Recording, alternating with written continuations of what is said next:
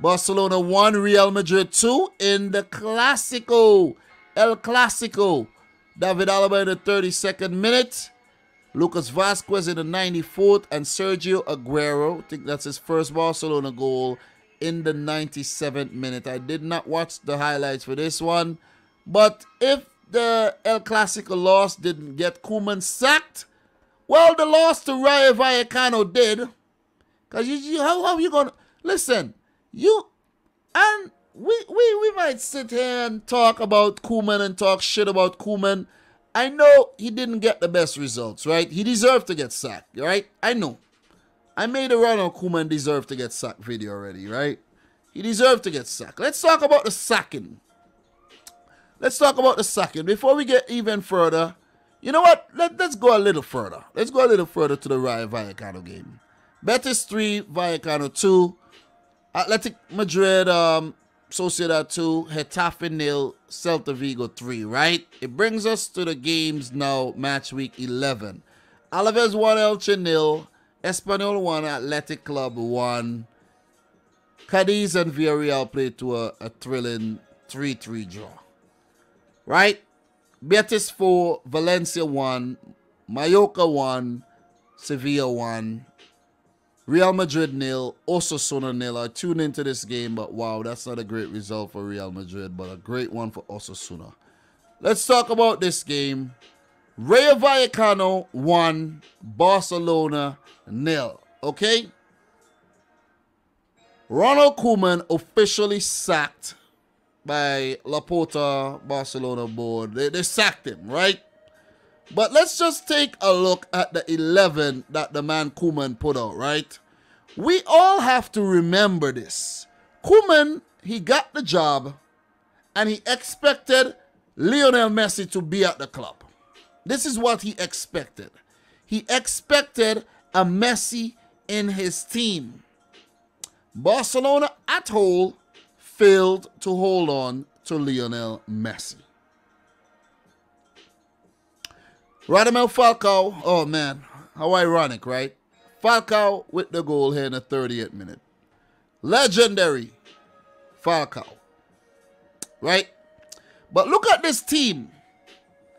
Depay, Aguero, Sergiño Dest playing in an attacking position. Maybe that's maybe not the right thing. Gonzalez. Don't know this guy like that. It's probably a youngster. Don't know him like that. Busquets, Philippe Coutinho.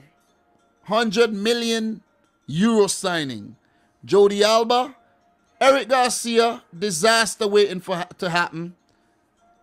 Gerard Piqué, Sergio Roberto, Marc Andre Ter Stegen. This is a experienced team, right? Even Eric Garcia has experience at Man City and moved to Barcelona and has been featuring a lot. Right? Let me see who's on the bench. Let me see who's on the bench and see if Koeman could have made better decisions. Clement Lenglet, Umti. Why Umtiti is not playing ahead of guys like like Eric Garcia? I don't know. Um, I don't know why Umtiti don't just leave Barcelona. You see what I mean? Just sever the contract, become a free agent, and move on, bro. You see what I'm saying? Go back to Lyon or wherever you were playing before. Some other team would need you, bro. You're there like a clown at Barcelona, not getting any game time, bro. I'm pretty sure he could have done a better job than Eric Garcia. So it's decisions like this that got Koeman sacked because even without Messi, when you look around, he still made decisions, bringing in guys like Luuk de Jong. You see what I'm saying? Memphis as well. Those are his signings. And they, they have not worked out.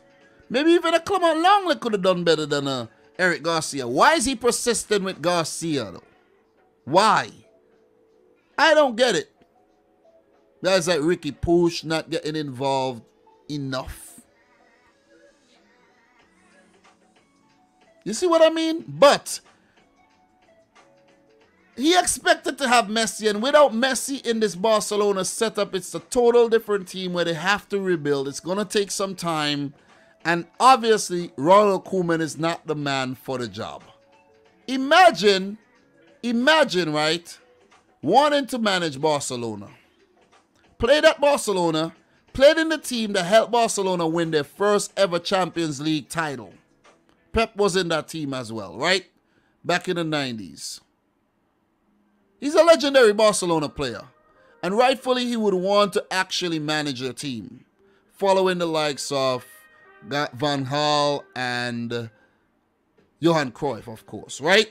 Great Barcelona managers. But you don't have Messi. The plans got messed up. Results have not gone his way. And the only thing left to do is to sack him. I think he had a lot of leeway.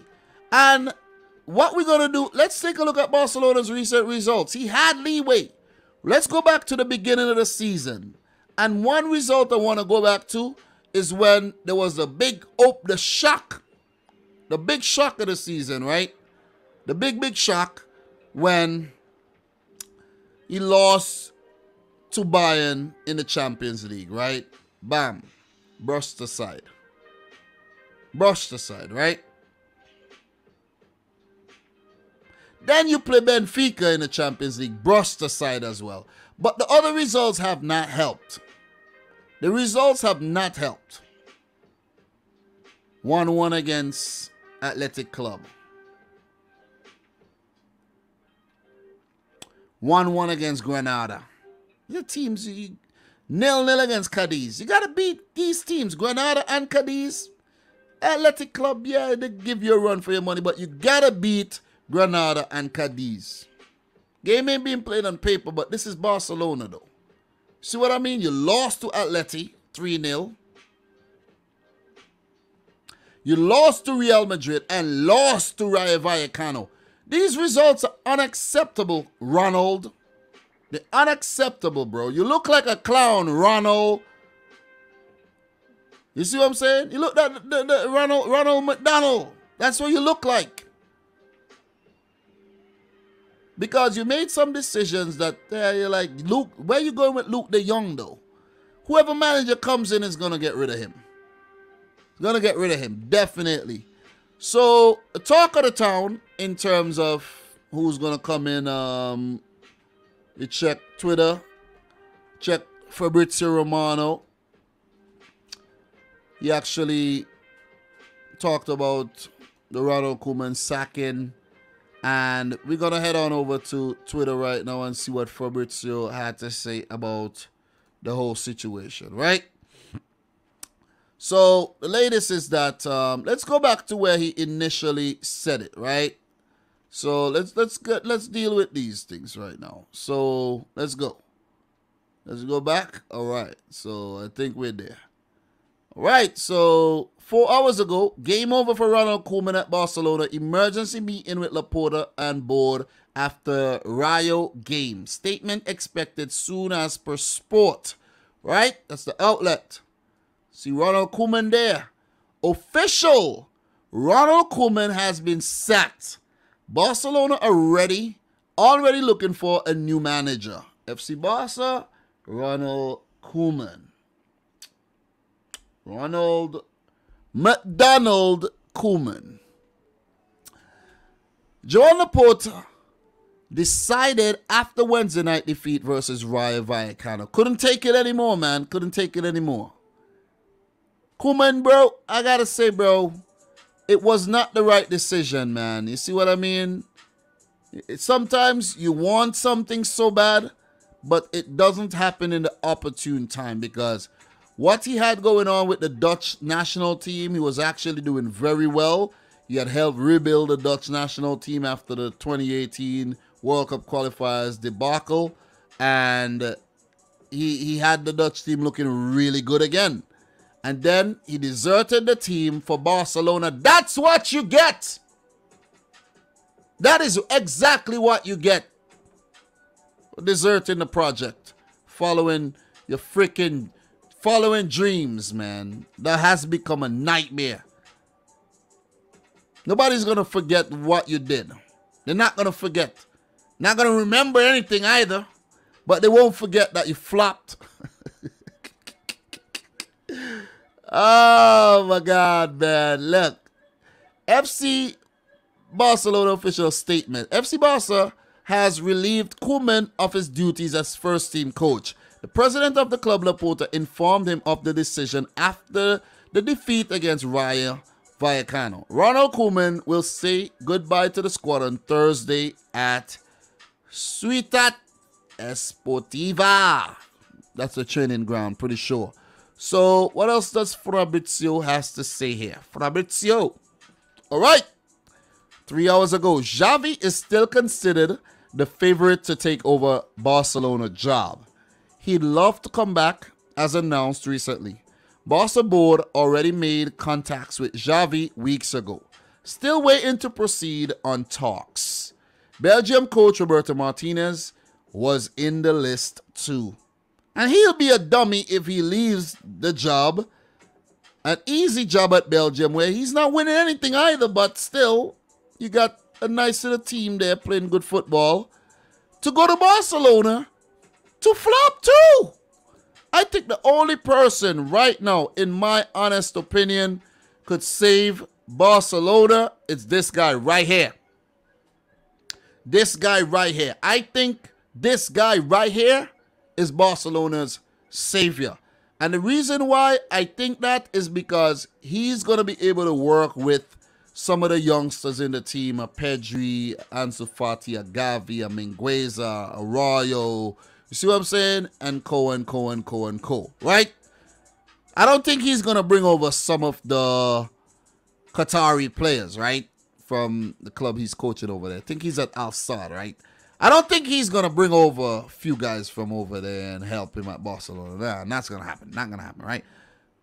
But I think Xavi, with the Barcelona DNA and everything, part of the great Barcelona team, yeah, it's crazy when you look at it right now that he's a manager. And you remember when he he was a player and he was so prominent, right? And that's why I always tell you guys, look at some of these players right now, 10, 15 years from now, or even less, they're going to be managing teams. And we're going to be talking about these guys who we used to talk about back in the day. See what I mean? Talk about a flashback, right?